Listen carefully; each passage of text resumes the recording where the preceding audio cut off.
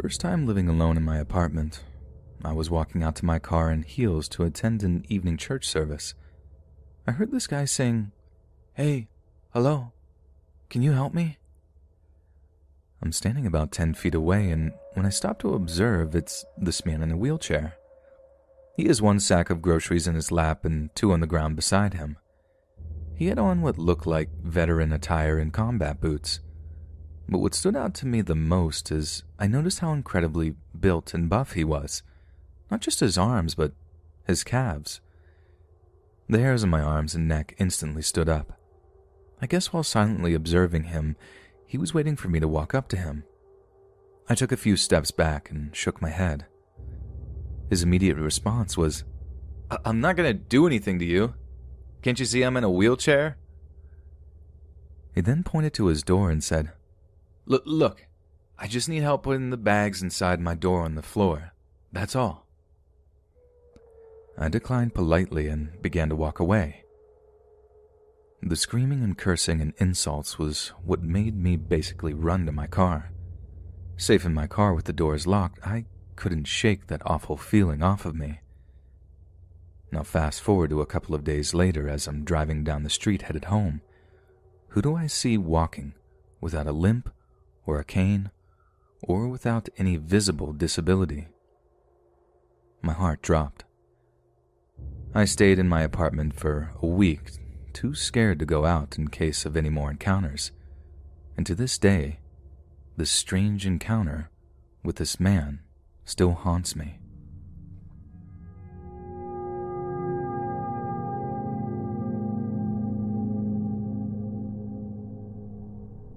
When I was a child, I was nearly kidnapped three separate times. I only remember one of them, but my family has two other times that they say happened, which I will briefly go over. One of these times was at a barrel racing competition in Camp Verde, Arizona. A lady picked me up as an infant and tried to run away with me, but my dad chased her and she put me down.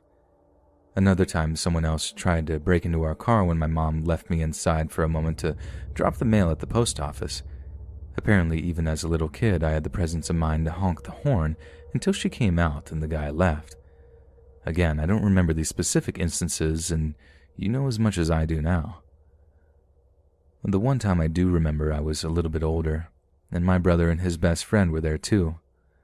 My mom owned a restaurant, and we would go to Costco to buy tons of wholesale food in one stop, and she would bring us along mostly because she didn't want to pay a babysitter, but also because we were cheap labor and would load and unload the car in exchange for chicken fingers or Costco pizza. This time, my brother and his friend and I opted to get paid up front and had Costco pizza while my mom went around the store and got everything on her list. We ate our food and, before we went to look for our mom, went into the bathroom. There were three stalls, and my brother and his friend on the either side with me in between them. I think I was singing while I was sat on the toilet and didn't notice when someone else came in. I don't remember much about what he looked like other than he had a denim jacket, and I think he had a skinny, clean shaven face. I know this much because he looked under the stall door, right at me.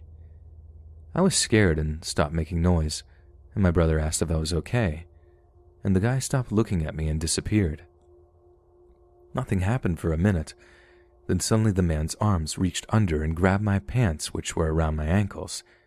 He tried to drag me out under the door, but I screamed to put my hands under both sides of the stall, and my brother and his friend grabbed them and held on to me. I think my brother yelled at the guy, and we were all screaming, and they kept pulling me until the guy let go, and we heard him run out of the bathroom. We tried to run out and get a look at him, but he was gone. When we told my mom, she went to the Costco people to see if they had surveillance tapes, but they said the police needed to be involved and warrants and stuff needed to be gotten and we ended up just going home. It was one of the scariest things that's ever happened to me, and I think it still affects me today. I sleep with my bedroom door locked and have nightmares about home intruders pretty often. This happened at the Costco in Flagstaff, Arizona, probably somewhere between 1999 and 2001, and I've always wondered if something else like it has ever happened in that area, or if someone was ever caught for kidnapping in that area around that time. I was hoping putting this on Reddit might stir something up. If it doesn't, though, I just hope we never meet again.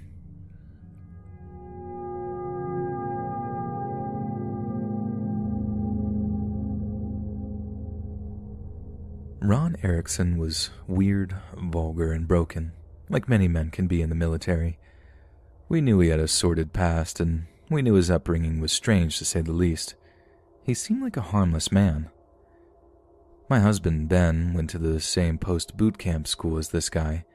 He and a handful of the boys were bonded by these terrible conditions and even terrible higher ups while attending the school. Ben married me while on leave, We'd been together a long time and known each other much longer than that. Eventually, we moved into an apartment together at his duty station in Southern California. It was wonderful. Ron would come around occasionally and spend weekends with Ben. Sometimes he even slept in our home on the sofa or on an air mattress in the living room. Eventually, we moved to a larger house in the military base, and Ron had to deploy to Japan. It was a long six months. Life went on normally without him, Friends came and went. This isn't unique. Eventually, it was Ben's turn to deploy. It was hard to cope, but fine. We said our goodbyes and smooched, and he was off to strengthen his sea legs for the next six months. When Ron came back to California, one week after Ben deployed, he wanted to pick up a box of his things from our home that we had tucked away for safekeeping for him. I was excited to see the familiar face. He picked up his things, shared small talk, and left.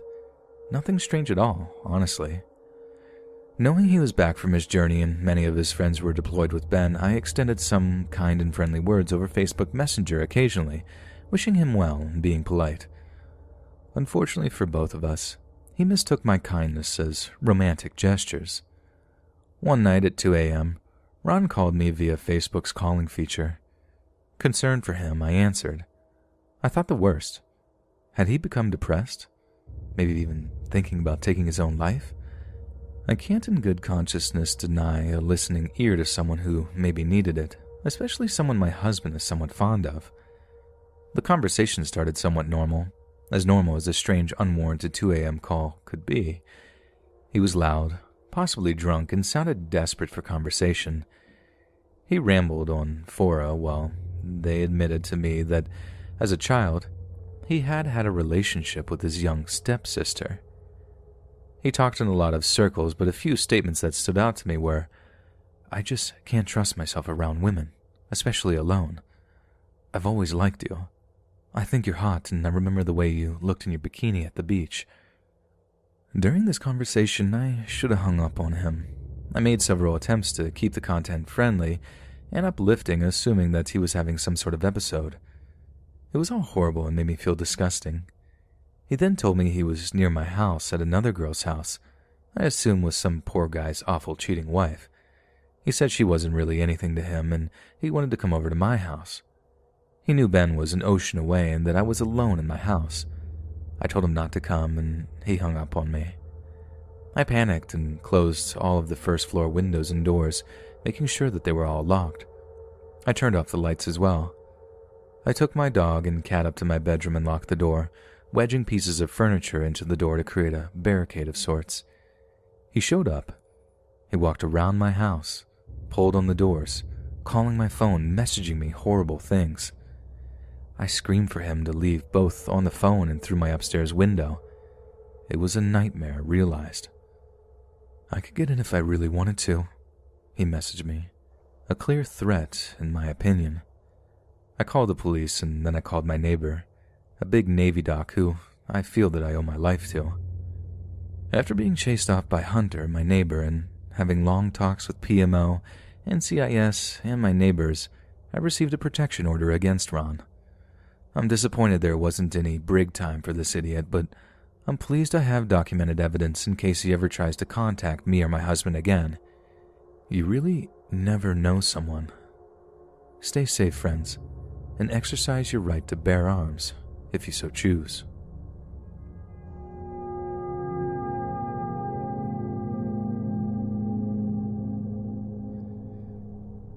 I'm a French student doing a master's in Amsterdam in the Netherlands. I live alone in an apartment in a building where there are only students. I'm 22, enjoying life peacefully. To give you a bit of context, I live in a calm, good neighborhood. The only noises I'd hear are the tram or parties in the building since a lot of students are there. One night around 10 p.m., I hear a knock on my door. I live on the third floor, and to get to my front door, you have to open the main door, which needs a key. Then you need to open the door to my corridor with the same key. So people who want to come to my door must have the key, call me or ring at the door so I could open the doors for them from my apartment. Nothing of this happened.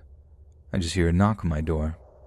I usually open the door without a second thought, whether it's my landlord or a neighbor asking for something. As he told you, I feel pretty safe in the building, and I could also take care and defend myself in case anything happened. But this time, for some reason, I had a bad feeling about this. I didn't move at first. I thought the person would just leave. I finished my assignments. However, the knocking continued for 30 seconds. I said, Yeah? In English. The person knocking doesn't say anything. I say in English again, Who is it? The voice answers in English. It's Uber Eats which is weird because Dutch always speak in Dutch, and I recognize the voices and accents of everyone on my floor who have the key to access the floor. So it wasn't a neighbor, it wasn't my landlord. It was somebody claiming to come from Uber Eats. But the issue is, I didn't order anything from Uber Eats that day. The voice was unfamiliar. In case it's a prank or a neighbor pulling a joke, it was also a deep voice, at least 40 and probably a smoker. I replied that I didn't order anything. You must have it wrong. After a few seconds, the knocking continues and the same voice says, Pretty sure you did. I have an order under your name. I start panicking. I look around and pick up a knife in case he breaks the door because the knocking was getting a bit louder. I checked if my door is locked. It wasn't. I was literally 10 centimeters away from him, my front door was the only thing keeping him from me, and I'm glad it doesn't open from the outside. You need a key to open it, even if it's not locked. I step back and ask again, What's the name? He seems to be thinking for a few seconds, then a final knock occurs. It was loud, and it translated some anger or frustration. Finally, I hear him going down the emergency stairs right next to my apartment. The steps were heavy, and the person was clearly in a hurry. I don't know what he wanted or what would have happened to me if I had opened the door as I usually do. I still haven't understood how he got through the two doors, and why did he come specifically to the last apartment on the third floor? Did he try others before? I posted a post about it on the WhatsApp group we have in the building. No one saw anything suspicious, so no one opened the door for anyone. Either way, I'm lucky for my instinct telling me not to open the door, and I'm glad. I listened.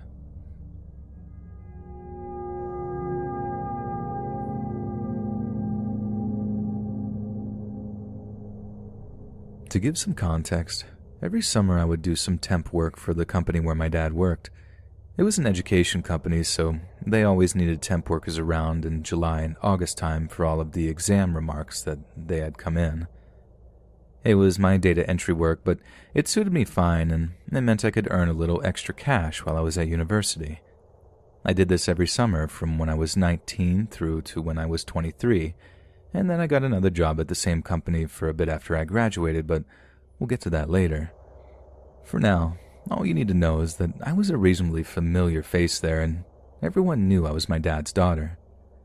The main downside of working there was that I'd clock off work at 5 p.m., but I'd have to wait for my dad to finish work since he was the head of an entire department, so he'd end up staying a bit later. Every day I'd bring a book with me and sit in this little foyer area between his department and the department where I worked, since it had the most comfortable chairs. I must have been 22 years old when this happened because it was the penultimate summer that I worked there.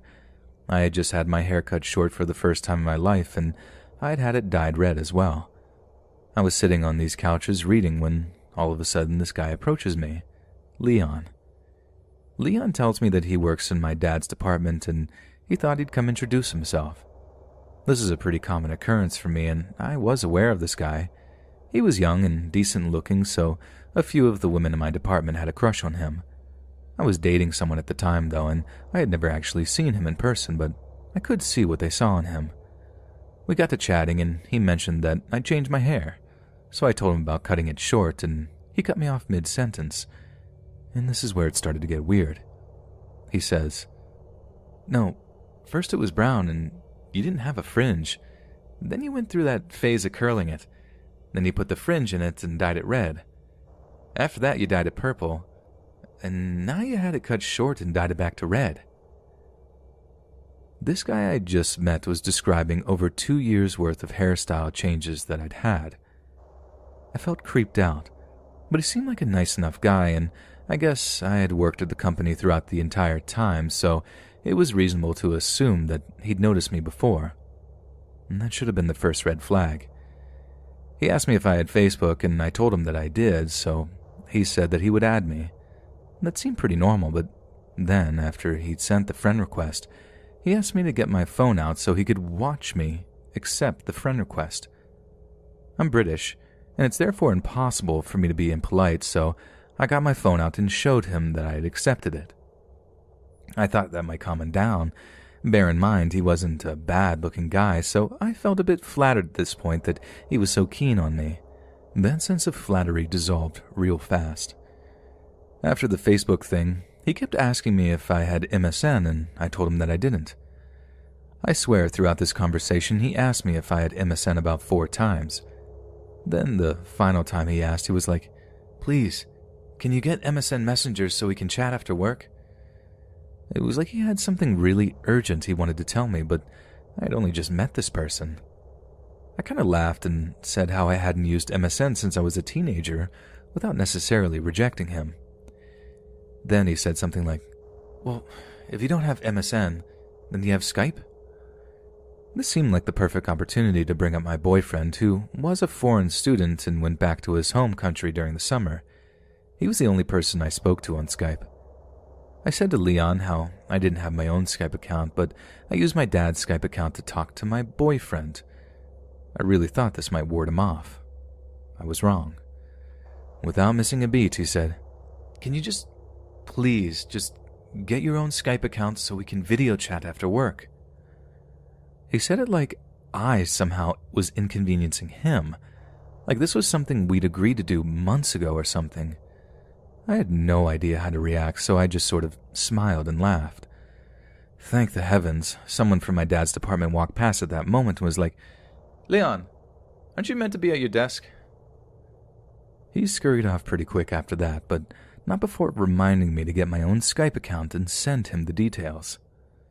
I told my dad about the whole exchange in the car ride home, but all he said was that Leon was very friendly and that a lot of women in his department liked him, so maybe I just misunderstood the situation. I thought he was probably right, so I tried to not let it bother me. Later that evening, however, I was on my computer doing university work when a message popped up on my Facebook. It was Leon. All the message said was, we like the same movies. I don't know what it was, but something about this message freaked me out so much. I decided not to respond and logged off Facebook, hoping that he wouldn't notice I had been online. The next day after work, I was sat in my usual spot when Leon comes over to me. His face was like thunder.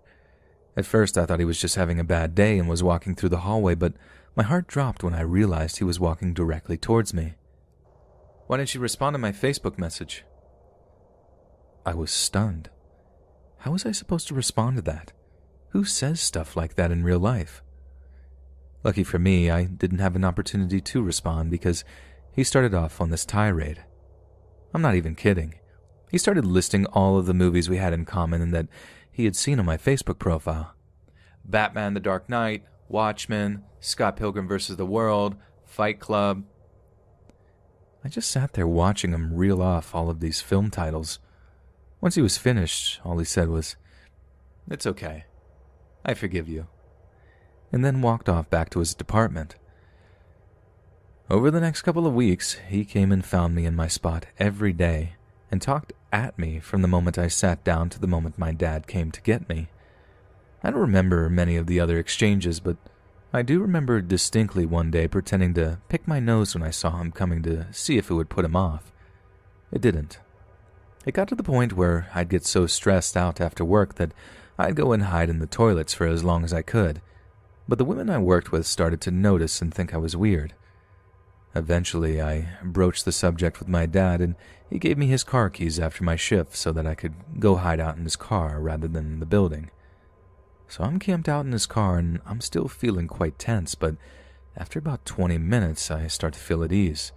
Surely he won't come looking for me out here. Wrong. I looked over at the main entrance and my heart drops. He is coming out of the door and he's scrutinizing all of the cars. I sank down as far as possible into my seat, but I wasn't fast enough and he saw me. He comes rushing off and starts tapping on the glass so I open the door and ask him what's up. I didn't see you in your usual spot, but uh, luckily the doorman told me he saw you come out here. Why are you in your dad's car? Again, what are you supposed to say to that? I told him I'd had a headache, so I'd come out to the car to take some paracetamol and see if I could get some sleep. At least he respected that because he told me to feel better and left me alone. I breathed a sigh of relief knowing that I was only going to be working there for a few more days before I had to go back to university. I told my dad about the car incident, and he gave Leon a talking to the next day. Leon would still come find me in the foyer, but he'd only talk to me for a few minutes in passing before leaving me alone, and it was a big relief. On my last day at work there, I was fully expecting him to do something crazy, but he didn't even come to chat with me that day. I left the office and thought that I would never see him again. I found out he was fired not long after I left the company that year because he kept coming into work late and then spent most of his time at work chatting with his coworkers and me, apparently. Fast forward to January of 2014, and I was preparing to move to China for a position teaching English. I graduated from university and I was working at the same company, but this time in a semi permanent capacity. It was my last day at work, so I received quite a few gifts and some fuss from my coworkers.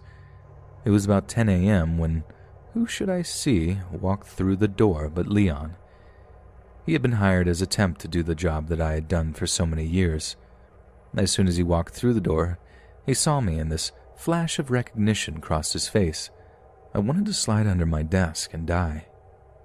He came walking over to me and was all smiles asking about how I was and what I was still doing at the company.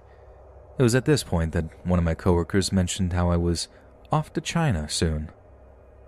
Leon seized on that and started talking about his friend who was also interested in TEFL. His interest seemed genuine, so I got to talking about how I got my TEFL qualification, who I got it through, what company I was going to be working for out in China, etc. We chatted for about 20 minutes and he wrote down some details for his friend, then went off to work.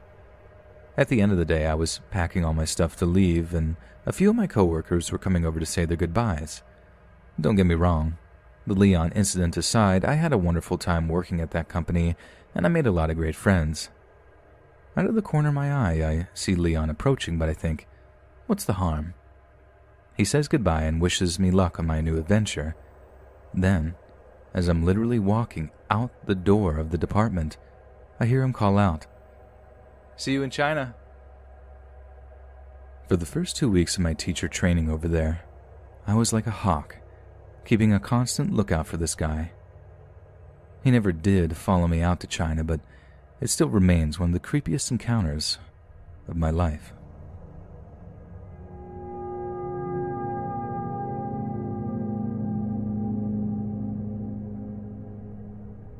This happened about four years ago. I was 20 at the time. The first time I met the guy who would become my grocery store stalker, he was standing outside the store collecting money for the Salvation Army Christmas time donations. I'm a fairly friendly person, so I like to say hi to people who work at places I frequent to be nice. This guy was a kid around my age, very tall, with a mild resemblance to Lurch from the Addams family, dark circles under dark eyes, short black hair, kind of vacant look in his eyes as well. I chatted with him for maybe two minutes, just idle chit chat about the weather and whatnot, Nothing particularly memorable or interesting, and then waved goodbye and went home. Little did I know that single moment would be the start of something that would have me genuinely afraid. About four or five months passed, and I hadn't seen him again. Then one day, as I was grocery shopping with a friend, when, as we were chatting, she suddenly got really quiet and kind of recoiled backwards, looking behind me. I turned around to see this guy, who had to be at least six foot four, towering over me not eight inches from my body. He said hi, and told me he remembered me from that December I had talked to him, and then asked for my number. I, being young and never having experienced this type of interaction before, told him I didn't have my number memorized, but that I would write his down and text him later. I kind of half waved my phone at him, pointing out my, at the time, boyfriend, whose picture was my wallpaper, making a point to say, Oh, look, that's my boyfriend, to the guy, hoping he would clue in, but no luck. He told me his number, which immediately upon getting I blocked without letting him get my phone number. However, what made my blood run cold was what he said after I put my phone away. He leaned in real close and, in a low voice, he told me, Whatever I text you is for your eyes only. At this point, I started to feel genuinely uncomfortable. I responded, Yeah, sure. Um, nice talking to you, but we gotta get back to shopping. And I grabbed my friend and dragged her off shooting a panicked look at her and asking why she didn't bail me out. Apparently, he scared her too with his getting so close to me and she didn't know what to do. I want to make it clear I'm not exactly a small girl, I'm 5'8 and solidly built. I can certainly handle myself, and I very rarely feel intimidated or small in the presence of anyone, male or female. But this guy made me feel tiny and scared. In the months that would follow, he would make me feel truly frightened. I had hoped that creepy interaction would be the last time I saw him, but that was unfortunately not the case. After that initial meeting with him saying that creepy thing about his texts being for my eyes only, it seemed like I would run into him every single time I got to that store. No matter what checkout lane I was in, he always seemed to appear at the end of it when I was finished shopping, and every time I was in the store, I would notice him out of the corner of my eye, watching me, no matter what area I was in. One time I even caught him following me out to my car. At that point, I got scared and decided to say something to the managers. After letting the managers know what was going on, they assured me that they would tell him to not talk to me. After that, he wouldn't speak to me, but I would continue to see him following me around the store at a distance every time I went up there. It got so bad and I felt so frightened that I started to be afraid to go to the store at all. But I'm one of those stubborn people who refuses to be intimidated by someone to the point I'll stop doing something. I'd hoped that maybe it was a coincidence that he was following me. After all, it was a big store, and maybe he just had things to do that just so happened to be in the areas that I was shopping in. So I started to pay close attention to my surroundings. Once I started paying really close attention, I realized that every single time I was up there, I would constantly notice him in the areas of the store I was in. During my last encounter with him, I went up to the store to grab just two or three items I needed for dinner that night, and I first saw him standing outside the store when I got there. And with his back to me, I quickly ran inside, hoping he didn't see me. Unfortunately, a few minutes later, I saw him at the very back of the store, and items in hand, I immediately made a beeline towards the front. As soon as I got near the checkout, I ducked behind one of the shelf displays and watched carefully at the front of the store to see if the creeper would appear, and he did. I watched as he looked up and down the checkout, and when he didn't see me there, I saw him step outside.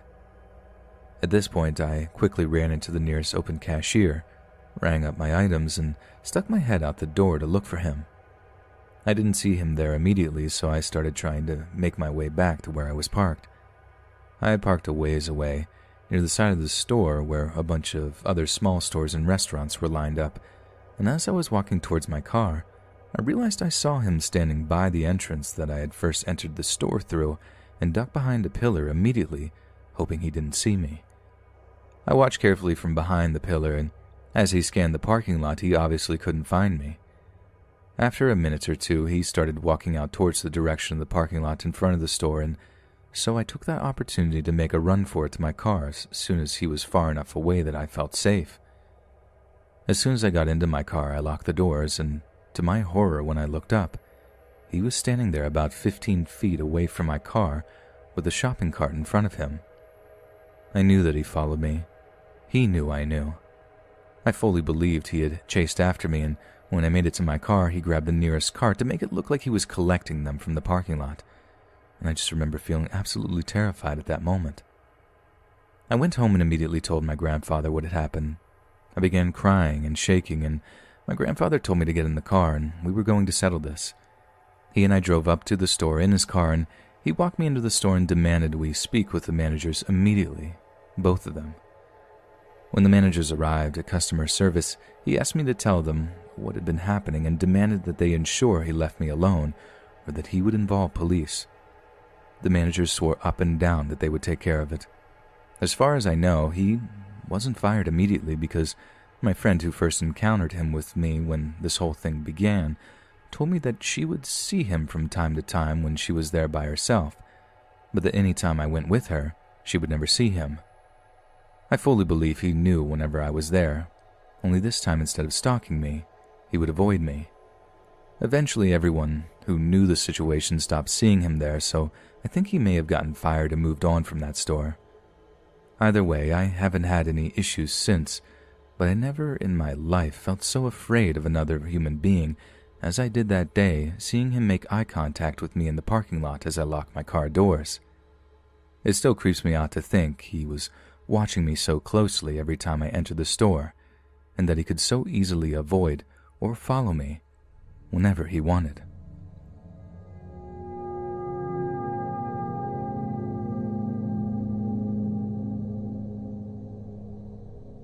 A few years ago, I was renting an apartment with a girl I worked with.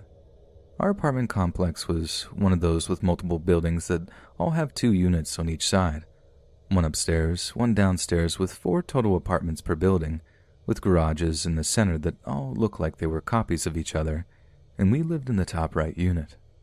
We worked as managers at a movie theater, so our schedules usually alternated, so we weren't usually home and awake at the same time. I woke up one Saturday night at around 2 a.m. to the sound of voices in our living room. My roommates had closed at work that night, and closers almost never leave before 1 a.m., so I thought she might have come home and decided to watch some TV before going to bed. After listening for a minute, I realized the voices were moving around and the volume fluctuated too much to be on TV. It sounded like two men talking to each other, and the only phrase I was able to hear was someone saying, They're not here, man, in a hushed but aggressive tone, which is never a good thing.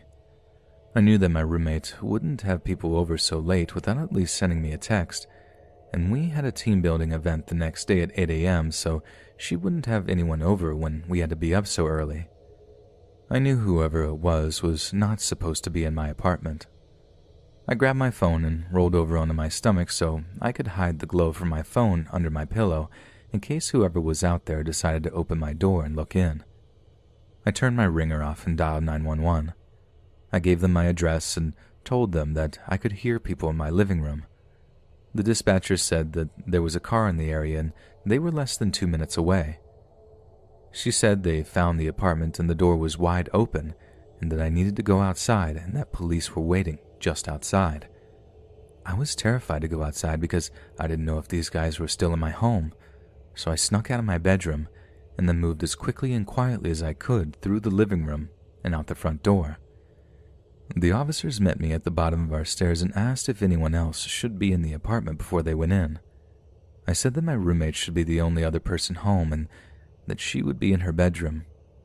They came back a minute later and said, So the two guys asleep on your couch shouldn't be there? I said they absolutely shouldn't be there. Police woke up my roommate and brought her outside, and we sat in one of the police cars while they handled the guys inside. They were escorted out without incident, and when the officers asked if we wanted to press charges, we said 100% yes. After they were taken away, we went back inside, and one officer came up with us and said that one of the men thought he lost his phone. He looked around and didn't find it, but she did point out that there was a big crack in our door frame where they might have tried to force their way in. My roommate notified our landlord about what had happened so that they could repair the door frame. The landlord replied by forwarding an email they had received from another tenant. This tenant apparently lived in the building next to ours, and he was also in the top right unit. He had two friends visiting from out of town for the weekend, and they had all gone out drinking and ended up back at his apartment. At some point, these guys woke up and decided that they wanted to go back to sleep at their hotel instead of crashing at his place. They left his apartment to call a cab, but when they couldn't find one, they decided to go back to his apartment. Luckily, this neighbor took full responsibility and paid to have our door frame replaced, but we didn't renew our lease after that. I developed severe anxiety regarding having people break into my home that lasted a long time. It's been improving through anxiety medication and the addition of a home alarm in the form of a 90 pound Pitbull mix. A month or so after this incident, I received an envelope in the mail that contained two letters. They were very non apologetic apology letters from both men, just talking about how they had learned the problem with excess drinking and that they were going to make sure they didn't do anything like that again, and blah, blah, blah. The crazy thing is, we found out that these guys were med students, so I shudder to think about one of these guys being my doctor someday.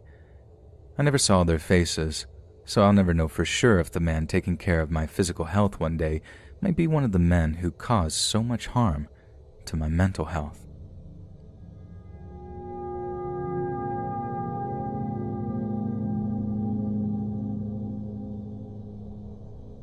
This was about an hour ago.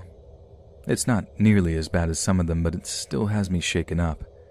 It was roughly 9:30 p.m., a Tuesday night. Nothing ever happens on Tuesdays. I went downstairs to get my dog so she can sleep in my bed with me. I said goodnight to my parents, got my meds, and got a glass of water. I set the cup down and turned the lights off, totally forgetting about the glass of water. I placed my dog on my bed, turned on my laptop, and realized I left my water downstairs. I went back down to get it, and I saw a car pull up through my kitchen window. I thought it was my oldest sister, but she was staying at a friend's house. I looked out, and it was a small compact car with what I could see were two men inside. I had no clue who they were, so I began to stress out. I tried to get a closer look, making sure I couldn't be spotted. I'm a very small guy, five five and incredibly weak. A 14 year old kid can't take on two tall and buff looking men. I saw something in the back of the car but couldn't quite make out what it was. I snapped myself out of it and grabbed my water. Out of the corner of my eye, I saw one of them get out and walk towards my house. I lost it at that point and ran to my parents' room. I asked, Who's outside? My dad was confused and said, Is it your sister? I shook my head, told him that we didn't know them, they weren't our neighbors, plus, their houses are walking distance. There's no reason that they need a car. He got up and my mom followed. They looked out the front door and saw a tall man in a gray Under Armour hoodie walking up carrying something. My dad instantly went out there and freaked the guy out. My mom rushed me upstairs and had her phone at the ready. I went to my room still holding my water, and I have no clue what happened or what those two guys wanted. I'm just so thankful that my dad was there to freak them out before they did something terrible.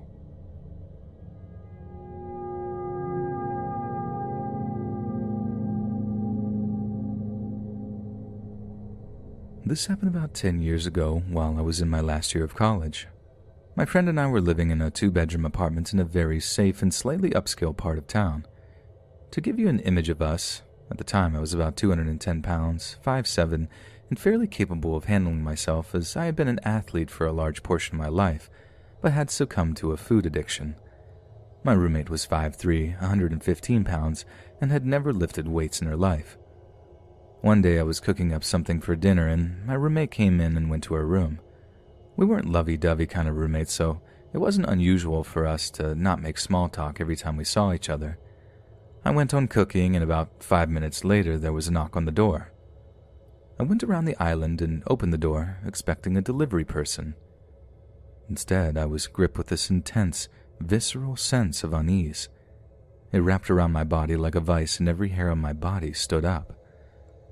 There was a totally normal looking guy standing there, medium height, light skin, brown hair, wearing a ball cap, casual sweater, and pants. To this day, I couldn't identify him from a lineup, but I just recall he looked totally unremarkable. However, I never in my life felt such a sense of foreboding. My heart was beating out of my chest. I didn't even say a word, I just stared at him, vaguely wondering if I should shut the door in his face. He stared at me for a few moments and turned and walked away, his dog following behind him. I had been so fixated on this guy, I hadn't even realized that he had been holding a dog leash attached to a sweet looking golden retriever. My anxiety abated, and I decided I had been overreacting despite never having that particular feeling before. I had grown up as a tomboy, had mostly guy friends growing up, was in a hugely male dominated career and degree, computer science and IT, and played a male dominated sport most of my life golf. I was not and have never been in the least bit afraid of men. About 30 minutes later, my roommate came out and asked me who was at the door, and I said, Uh, some random guy. Wrong apartment, apparently. She looked at me frowning and asked, Did he have a dog? I replied in the affirmative. He had a dog. She told me that some guy with a dog had tried to chat her up at the mailboxes on the other side of the complex, but she had ignored him and gotten back in her car to come here. She's positive he couldn't have seen her come into the apartment because, one, he would have had to run at super speed to catch up to her. Two, our apartment faces away from the section where the mailboxes are. And three, there are at least four buildings obscuring line of sight to our building. What that means is he scoured the parking lots for her car, and when he saw her car parked in front of our apartment building, he had likely knocked on each door. There are two on each floor, four floors total, to try and find her. Our suspicions were confirmed the next day when there was a phone number, no name, under her windshield. I have no idea if she ever reported the incident, but I was on edge for a good month afterward because I was worried he might keep an eye out for her. I don't know why he turned around and left. Maybe he thought he had the wrong apartment, or maybe he assumed she lived alone and didn't want to confront someone else. Maybe as much as my roommate's tiny size enticed him, my larger size made him think twice about doing anything.